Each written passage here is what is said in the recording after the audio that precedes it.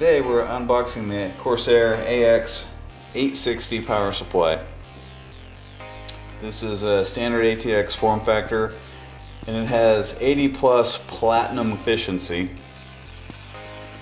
So let's get started.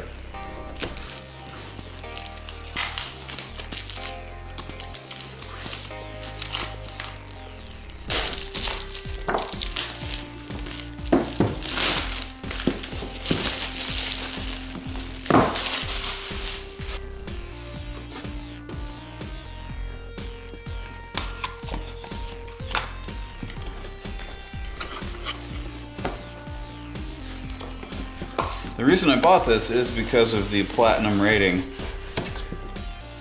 I want a very high level of efficiency. And we'll talk more about that in a little while. Alright, how do we get this open? Alright. There it is. So we have a manual, warranty guide, safety directions, beefy power cord, some small zip ties, mounting screws, and a case bag. Zip tie is not so interesting, but nice to have. The screws are black, which is nice because most of my computer screws are silver. Case badge, not bad.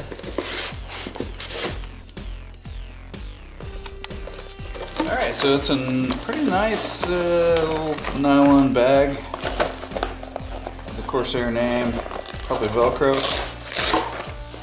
Yeah, this is good. So, in the bag, we get all the expected stuff for this modular power supply.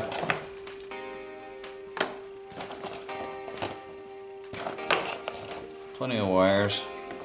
That should be plenty for our needs. Everything's basically black, as you can see. All right, the actual power supply.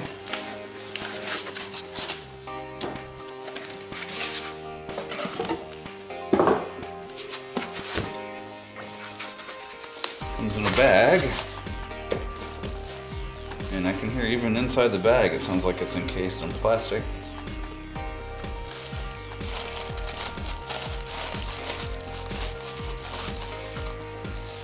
One has to wonder, will we ever use this bag again? And there it is.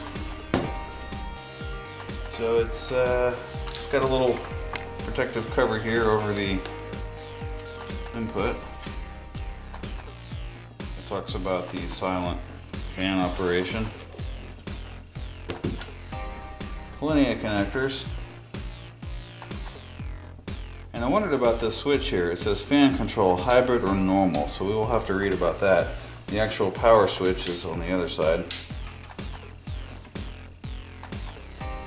Interestingly, this label's one way, but on the other side, everything's upside down. So here it's normal, now it's backwards. I guess it just, I don't know, seems odd. Must be a reason. So this power supply is, uh, like I said, it's the 80 plus platinum rating, which means that it is 92% uh, energy efficient at, at peak, and it's a minimum of 90% efficient. It's a 120 volt power supply.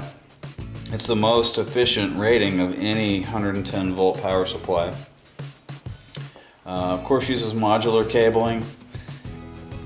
So this little sticker was on here. It says silent operation at low to moderate loads. In this mode, the fan will not spin.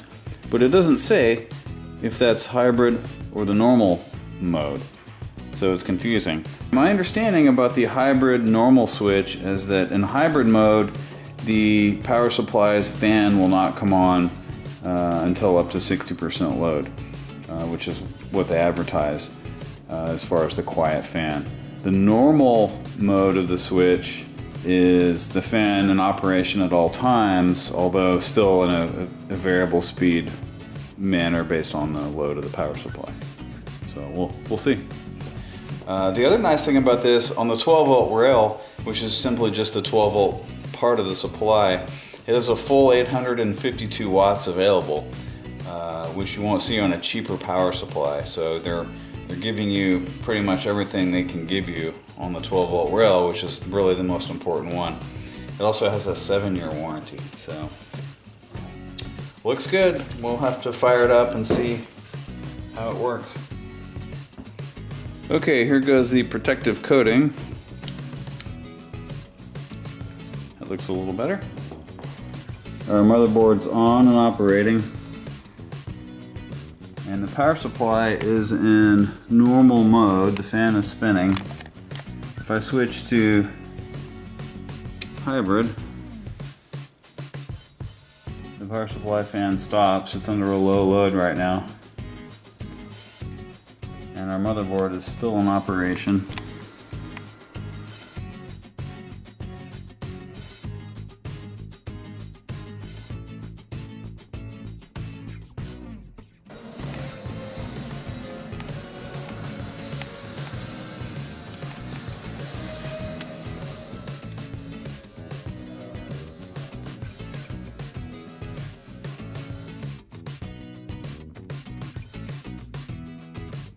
Alright, so here we have AIDA64 running just the CPU and similar tests or benchmarks.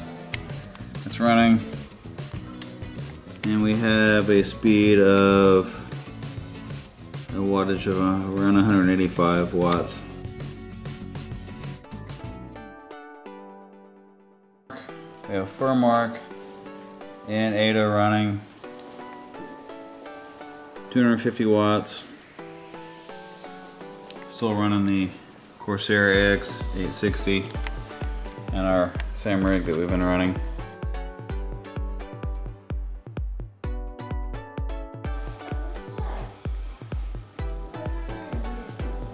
So here we are with our other power supply. The system's at idle, consuming 130 watts.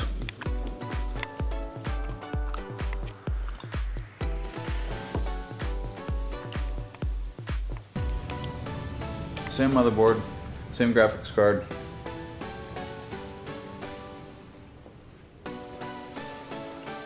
So roughly, give or take 10 watts more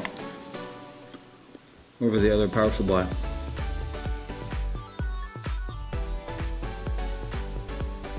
Alright, here we are benchmarking CPU. Everything's running fast and we're right at around 200 watts.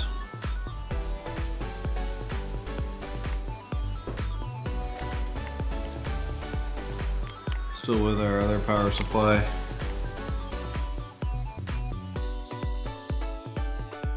Alright, now we've got Furmark running.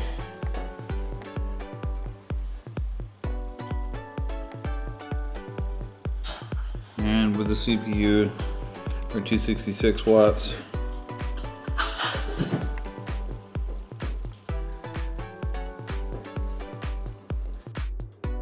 Okay, let's take a look at the test results.